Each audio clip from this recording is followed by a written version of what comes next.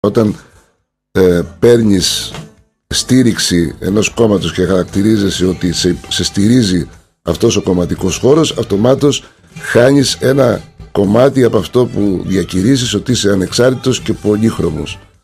Εμείς δεν θέλαμε λοιπόν κάτι σαν στήριξη και αυτό δεν ήταν η αφορμή ούτως ώστε να μην ε, συμφωνήσουμε στο να πάρουμε μια θετική άποψη που ήταν η δική μας επιθυμία την παραδοχή ότι ο συνδυασμός του Βασίλη Κοσμόπουλου Καλαμάτα μπροστά είχε επαφές με τον ΣΥΡΙΖΑ πριν την ανακοίνωση της εκ νέου στήριξης στον Μανώλη Μάκαρη, έκανε σήμερα το πρωί μιλώντας στην ενημερωτική εκπομπή του Best 97,3 ο υποψήφιος Δημοτικός Σύμβουλος και στενός συνεργάτης του κυρίου Κοσμόπουλου Παναγιώτης Παπαμικρούλης.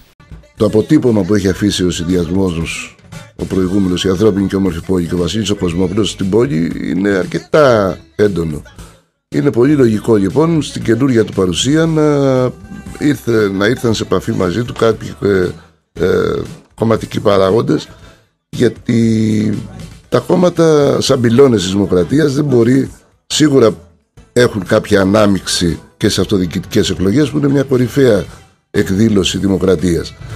Από εκεί και μετά υπήρξαν κάποιες συζητήσεις η δική μας ε, θέση είναι σταθερή πάντοτε ότι εμείς δεν θέλουμε ούτε χρήσματα ούτε στηρίξεις με την έννοια της ανάμειξης στο συνδυασμό μας. Ο κ. Παπαμικρούλης επεσήμανε πως ο συνδυασμός του Βασίλη Κοσμόπουλου δεν πρεσβεύει ούτε το παλιό ούτε το καινούριο αλλά το διαχρονικό. Άσκησε κριτική στον Παναγιώτη Νίκα επισημένοντας πως δεν υπάρχει σχέδιο για να πάει καλαμάτα μπροστά και απάντησε στο κέριο ερώτημα γιατί επανήλθε τώρα. Το 2010 με τον, με τον Καλλικράτη και το μεγάλωμα του, του Δήμου ε, για μια ανεξάρτητη κίνηση όσο καλά και να είχε πάει όπως ήταν η δική μας τα προηγούμενα χρόνια δεν υπήρχε περιθώριο και, ρεαλιστικός, και ρεαλιστική πιθανότητα να κερδίσει στο Δήμο. Αυτό μαζί με την ανάγκη μετά από 8 χρόνια ενασχόλησης η οποία απορροφούσε πάρα πολύ προσωπικό χρόνο ιδίως από τον Βασίλη μας οδήγησαν στην απόφαση να κάνουμε μια διακοπή, μια γρανάπαυση.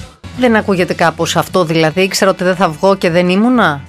Όχι, δεν είναι ότι ήξερα δεν θα βγω. Οι, ε, οι πιθανότητες να είσαι δημοτική αρχή γιατί κακά τα ψέματα με το παλιό δημαρχοκεντρικό μοντέλο εξουσία ασκούσε ο δήμαρχος και δυστυχώς να μην είμαι απόλυτος ότι στο 100% των περιπτώσεων στις περισσότερες περιπτώσεις ο Δήμαρχος ελέγχοντας το Δημοτικό Συμβούλιο έκανε ό,τι ήθελε και η παρατάξη, η αντιπολίτευση απλά έκανε την κριτική της η οποία δεν λαμβανόταν πάντοτε υπόψη.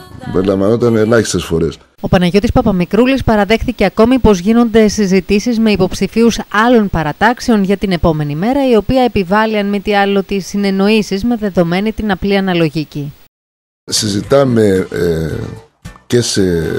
Και φαντάζομαι και ο Βασίλης, αλλά και εγώ συζητάω με κάποιους ανθρώπους οι οποίοι ε, βρίσκονται σε άλλους συνδυασμούς, ανταλλάσσουμε απόψεις και σκέψεις, γιατί πραγματικά ένα τοπίο, ε, ένα δημοτικό συμβούλιο με 12 επικεφαλής ε, ίσως, ίσως να δημιουργήσει περισσότερες δυσκολίες από ό,τι φανταζόμαστε.